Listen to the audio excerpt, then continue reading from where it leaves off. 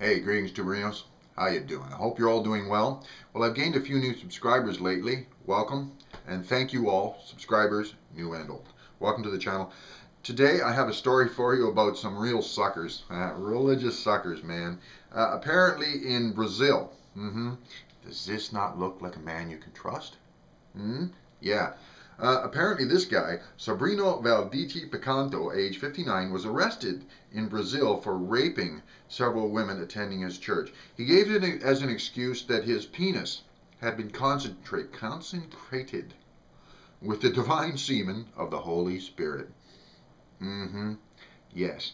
Yes, he has literally uh, convinced parishioners that they need to suck his dick to get to heaven. Mm-hmm. A 23-year-old woman who prefers to remain anonymous, yeah, I'll bet, uh, he has said, uh, was quoted as saying, he convinced us that God could only come into our lives through the mouth.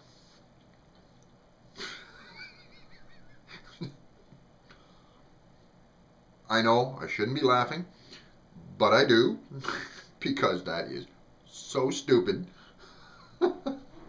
Often after worship, Pastor What's His Face would take us to the back of the church and ask us to do oral sex on him until the Holy Spirit came through ejaculation.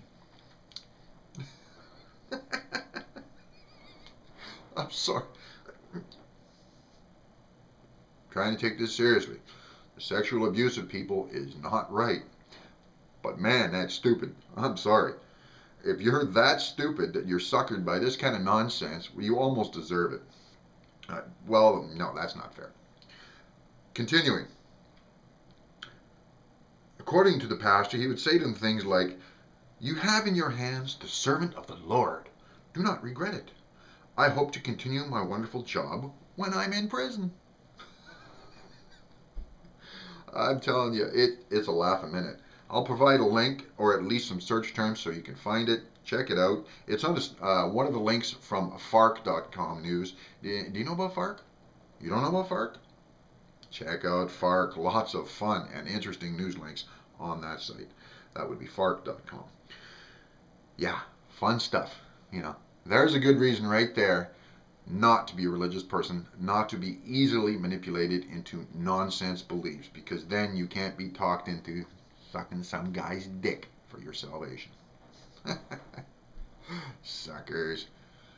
Peace and long life to the rest of you.